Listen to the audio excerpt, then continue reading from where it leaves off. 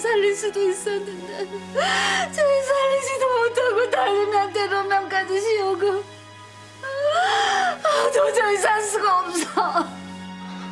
이러지 마세요, 어머니. 정말 왜 이러세요? 재호가 나 죽고만 싶어. 제 옆으로 가고 싶어.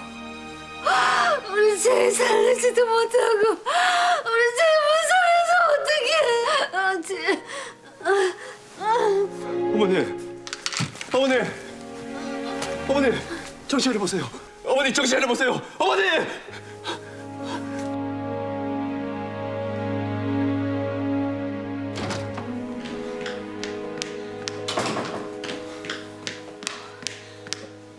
대표님은 좀 어떠세요? 방금 재욱이한테 연락 받았는데 대표님 쓰러지셨대요. 네? 충격이 너무 커서 상태가 많이 안 좋으신 것 같아요. 제이 옆으로 가고 싶다면서 약을 드시려고 했나 봐요. 살아갈 의지를 잃으신 것 같아요.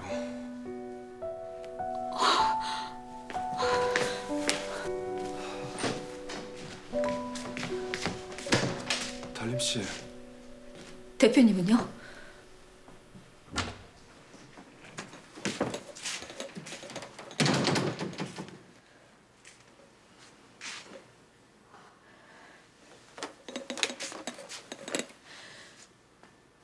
왜 이러고 있어요? 어서 일어나세요.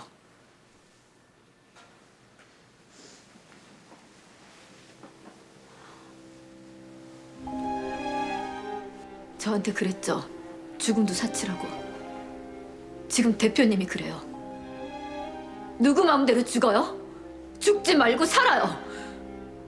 나도 이약 물고 살았어요. 대표님도 이약 물고 살아요. 그렇게 산송단처럼 누워 있으면 내가 화내고 싶어도 화 못 내잖아요. 너무 밉고 원망스러운데 미워하지도 못하잖아요. 제가 보는 앞에서 살라고요. 그게 절 낳아준 엄마로서 저지른 죄에 대한 형벌이에요.